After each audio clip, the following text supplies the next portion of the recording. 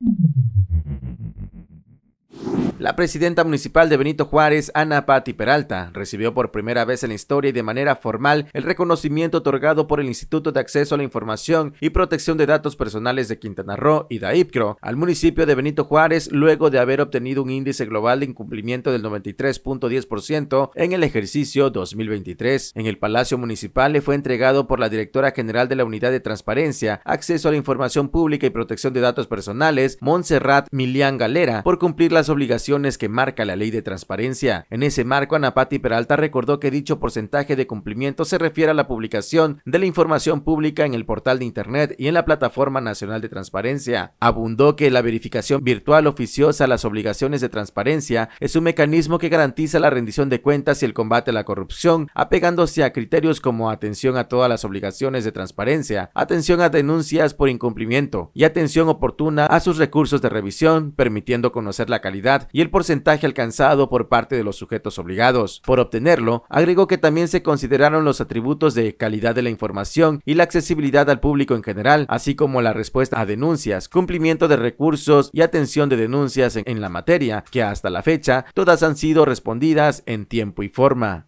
Para Notivisión, Leonardo Hernández.